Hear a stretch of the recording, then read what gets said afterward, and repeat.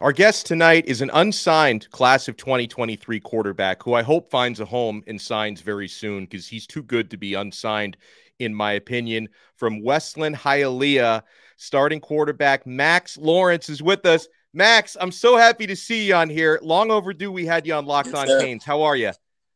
I'm doing good. Thank you for having me. I'm so glad to have you, man. And you know, I've, I've seen you around campus at Miami before, ran into you at the spring game last weekend, and you're, yeah. you're such an outgoing young man. You've got such a positive attitude and a great personality. I, I can tell you've got those leadership traits to be a quarterback. Uh, and you know, you've been making the rounds. I know you've been to some schools out of state, to some schools in the area. How's that recruiting process going for you?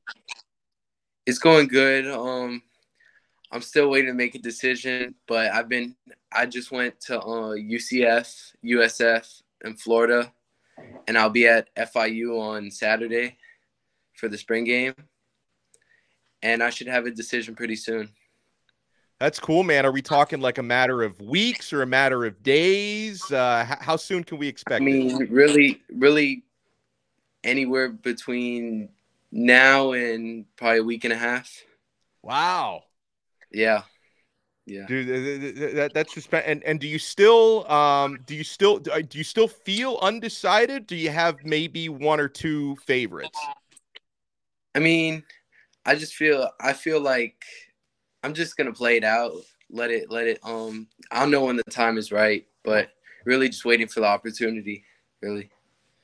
No, I, I, know it's it's one of the biggest decisions you're going to make in your entire life. And listen, before we yeah. talk about Max Lawrence, the quarterback, I also got to mention, unless I looked at the wrong stats, I see you've got a, a 4.81 GPA, which is uh, it's a little higher than the one that I had coming out of high school, Max. So, I mean, so when you look at this, obviously you want to play football, you want to find the right football fit, but you know, for a, a smart student like yourself, how much do academics come into play in your decision? I mean, academics play a big role, but really just I'm not really too worried about that because I'm I know I'm gonna get it done in the classroom, and I whatever I put my mind to, I'm gonna get it done. So really, just finding the right program right now is what I'm looking forward to. So you're coming off a successful uh, high school season at Westland Hialeah. Describe your game a little bit, Max. Uh, I think 15 touchdowns this past season, and, and you were slinging it all over the field. Like, what what can you know for whatever university you choose? What can they expect from Max Lawrence, the quarterback? I mean, really, uh, pure pocket passer. I'm gonna get the ball out quick, very accurate, and I'm I'm gonna, you know, outwork everyone physically and mentally. Really, I, I watch a lot of film. I think that's what separates me from most quarterbacks. And I play in Miami Dade, which is the best of the best. So, yeah. Tell me a little bit about your journey through high school. Uh, are, are, you are you a South Florida native, or are you from somewhere else? How did yeah. you end up at Westland? Yeah, well, I grew up in Miami Beach. I went to Miami Beach Senior High my first three years with Coach Alex Terry, and um, it went good. I I I didn't play my freshman year. I played a little my sophomore year, and I, I grew late. So I really my first year starting was my junior year I had 16 touchdowns, uh, 1,500 yards in in nine games or eight games, and really, my senior year it was just I just wanted to go all out. So, you know, me and my family decided just the best move would be to transfer. And I, a lot of schools contacted me, reached out to me, and and really Westland came towards the end, but it was the best decision I made. And you know, the season was we went four and six, but or five and six. We started off five and one, and then not a lot of people know, but I got hurt. I sprained I sprained my throwing elbow, so I played. I missed three games, and I played the the big games, the next three. That's good, man. How's the recovery yeah. gone from that? I, I know that it's that can good. obviously be difficult. Yeah. yeah.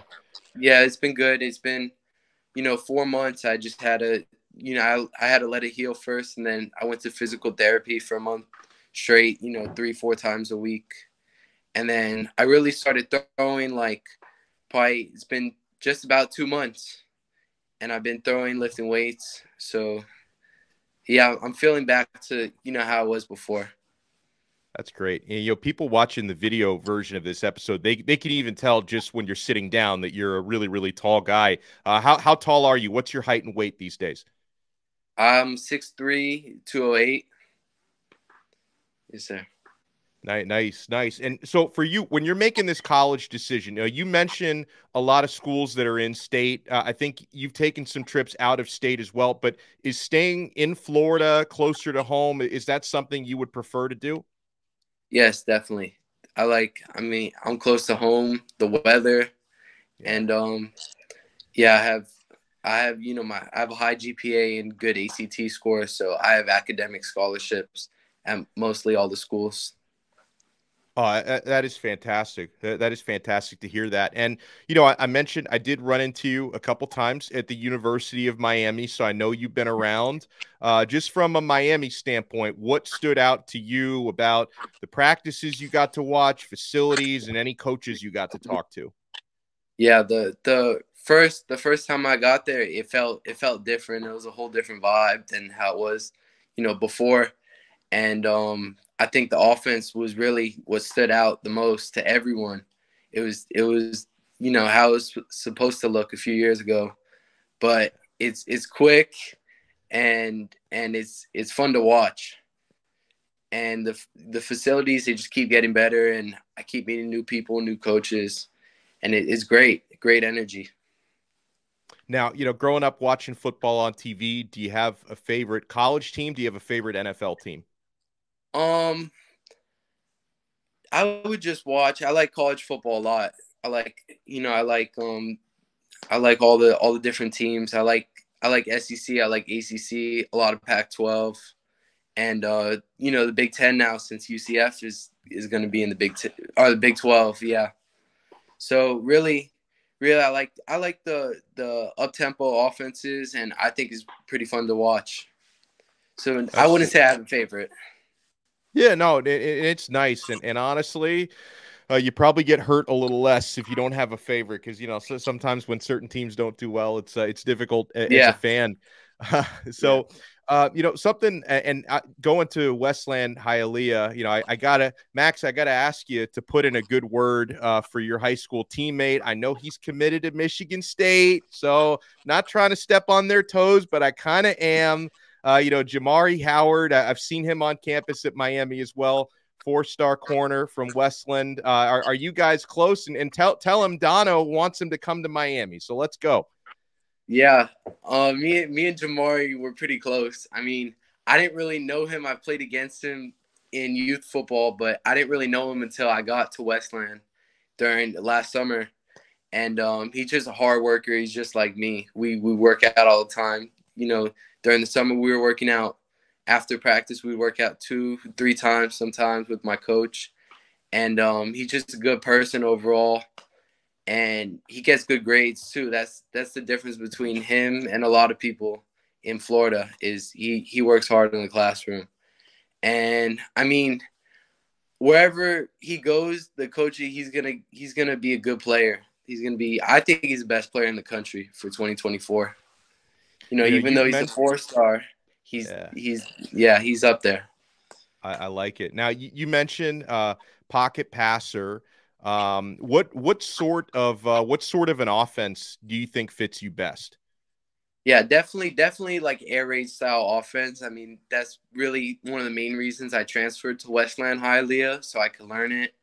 And you know, I thank Coach Joe, Coach uh, Daniels, Coach OJ, Coach Vaughn, they all gave me the opportunity, you know, to just bring me in and help me learn. And uh, I've learned from all of them just different things, and and it's really helped me like become the quarterback I am today. Well, that's great. I want to wish you the best of luck. I know you got a big decision coming up.